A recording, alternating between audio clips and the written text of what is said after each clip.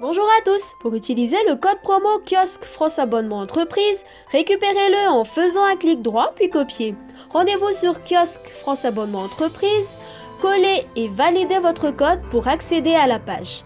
Faites votre commande en respectant les conditions du code promo. Vous verrez alors votre réduction. A bientôt sur moindépensé.com